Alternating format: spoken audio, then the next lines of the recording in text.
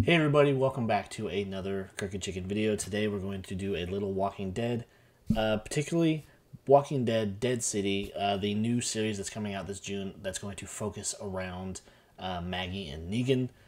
And when this show was first announced, we had no idea why they would pair these two particular characters off, and most importantly, we had no idea why the fuck they would end up in New York of all places considering that uh, you know where they left off at the end of The Walking Dead, everyone seemed happy and content where they were. They didn't show any kind of uh, they didn't show any indication that these people were going to leave this location and just kind of venture off. And now that we have a new trailer and bits and pieces of information have been revealed about the show, it does kind of explain why they go and why they're going together. But then again, it still leaves a lot of questions of why they're even together and kind of getting into more of it as we do the trailer. Uh, it was only 15 seconds of footage. Uh, as they get closer to the series, we know that they'll probably do maybe a one minute trailer, then bump it up to a three minute trailer. So, uh, with this little bit of footage that I'm going to show you right now, like I said, it opens up with Maggie, and then we have Hershel being dragged away by these people. We have no idea who these people are, and then we get this flash of this dude. Now, this guy, I can't remember his name but he is in a lot of um, he's been in a lot of things. He is always playing kind of a menacing villainous character and and you know he does a very good job at it. And then it just kind of proceeds on. And then one thing that also kind of bugs me about this though is this blue tint that they're going with. It's uh yeah it's good it makes it hard to watch these kind of shows because they want to really darken everything but that's just kind of another thing that we won't really dive into much to. But and then we get our freeze frame of Negan, and you know he's looking as handsome as ever. But then we see uh, as Negan and Maggie are going about to find out why Hershel is taking everything, and also one thing that was really kind of bugging me and has bugged a lot of people: why is Negan the key to finding Hershel? It kind of opens doors to theories like, is this guy and his group former members of the Saviors, or is this guy a group from when Maggie and Georgie were together that they came across, or it just leaves a lot of questions and wondering who this guy is and why they would come after Hershel in particular, or maybe they're targeting Maggie, or just, you know, who knows? Maybe they come across him randomly and they think he has some information. It could be this whole situation where it's this group of people that know that Maggie or Negan come from a community that is prosperous or what have you, and now they like a lot of people want that community or they want the resources of that community. You know, it's kind of a storyline that has been regurgitated over and over throughout the Walking Dead years. And so it just it leaves a lot of questions and wondering why they're choosing to go with these characters and why Negan is some reason the key to getting Hershel back.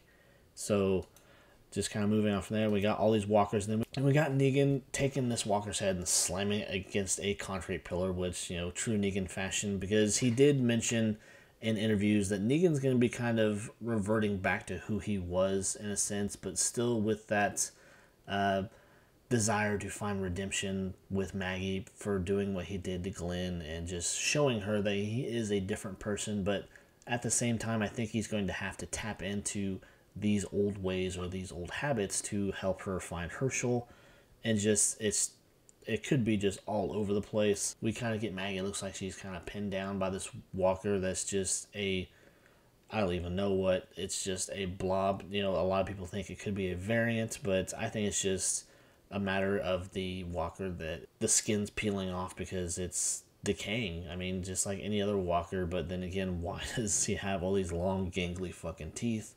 That's just another road to go down. And then we have uh, this little bit where we see that Negan and Maggie are making their way through New York with this new mystery character. We don't know too much about him. I think he's been in previous bits of footage that we've seen, and maybe he's guiding them through the city. But uh, then we have this little bit where uh, walkers are falling from the sky. Obviously, they're probably coming off buildings or out of buildings with blown out windows, or hell, they could be a form of defense that people are using and shoving them out the windows. It's just you know we don't know if they're if they're going that far. And then Negan has his little uh, line, you know, we got walkers falling from the sky now, and just in true Negan fashion doing his thing. And just it kind of closes off there, and we get the title card. So, like I said, not a whole lot of information of what the hell is actually going on and you know not a lot of footage to work with. But uh, like I said, we'll probably get at least a couple more trailers before the show actually premieres this summer.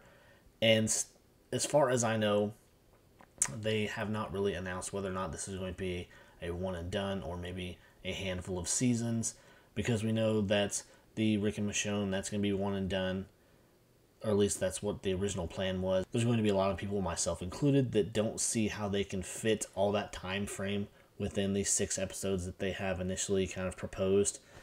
That's just a whole nother thing itself. With this particular series, I am looking forward to it, but they are kind of taking Walking Dead and milking it for everything it's worth.